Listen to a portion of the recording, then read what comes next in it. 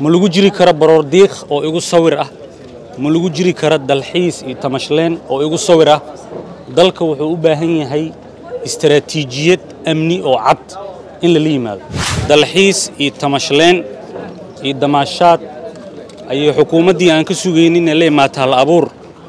Oo amniga khawaarijta lagula dagaalami lahaa ayay waxay sameeyeen wasiiradiiu qoslaaya iska damaashaadaya iska dalxiisaya xeebta liida wasaaraddii amniga la rabay inay ka shaqayso amnigana dalxiiska iyo tamashleynta wasiirkoodii uu ku jiray. Sidaad ka aragteen xeebta liida wasalaamu calaa rasuuli ilamiin sayidina waxabiibina muxamedin wacalaa aalihi wasaxbihi wasalam marka hore ilaahi subxaana wa tacaala mahad iskale. Saxaafadda waa salaamantihiin salaan kadib marka hore inaa lilaahi wa inaa ilayhi raajicuun. Waxaan u tacsiyeynayaa shacabkii soomaaliyeed ee bermageedada ahaa ee lagu laayey xeebtii liido dhacdo waxay ahayd aad u foolxun oo soo laalaabatay soo noqoshadeediina aad u badatay. Run ahaantii waa dhacda dareen leh argagixisada ama raxanlaawayaasha khawaarijtana mar walba waxay u taagan yihiin inay daadiyaan dhiigga shacabka soomaaliyeed. Shacabka soomaaliyeed meel walbuu joogana arrintaas inuu meel ugu soo wada jeesto ayaa muhiima. Taas markaa ka gudba kadib sidaa ka warqabtaan dalku wuxuu ku jiraa xaalad hubanti la'aan amni ah. Hubanti la'aanta amniga uu dalka ku jiro waxaa kow ka ah halkii la rabay in istaraatiijiyad cad oo amni ah in lala yimaado. Sidaad ka warqabtaan aad aragteen dalxiis iyo tamashleen iyo damaashaad ayay xukuumaddii aan ka sugaynin ee la imaata hal abuur.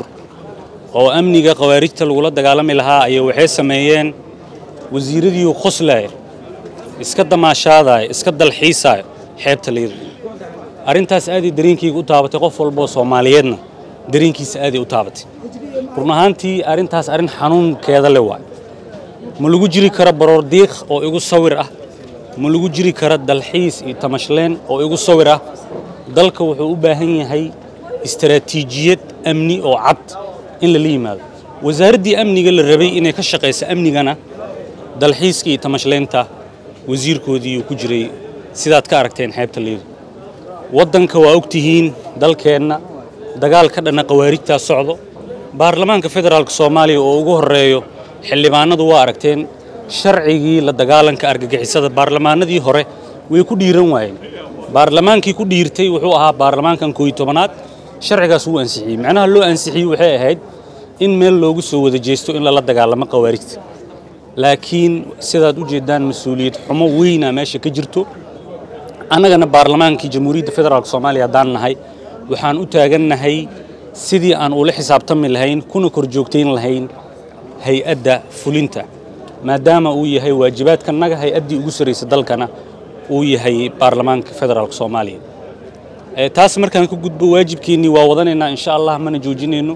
Habeen iyo maalinna waa u taagannahay inaan shacabka dareenkoodii aan la qaybsanno taas markaan ka gudbo waxaan rabaa inaan aad u taageero garab istaagana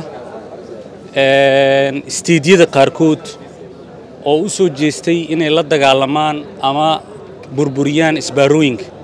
Sidaa ka warqabtaan isbaarada sideedaba isbaara marka lagu yidhaahdo iyo marka la yidhaahdo khawaarij waxay isdhaamaan ma leh.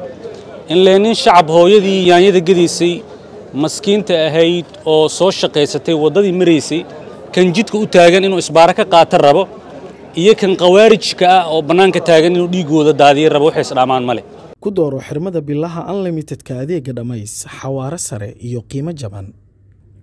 Ku shuba shan iyo toban doolar oo keliya oo hel unlimited data internet iyo ku hadal aan kaa dhammaanayn muddo bil ah uga shuba io dahab koodh nambarka xidig hal eber hal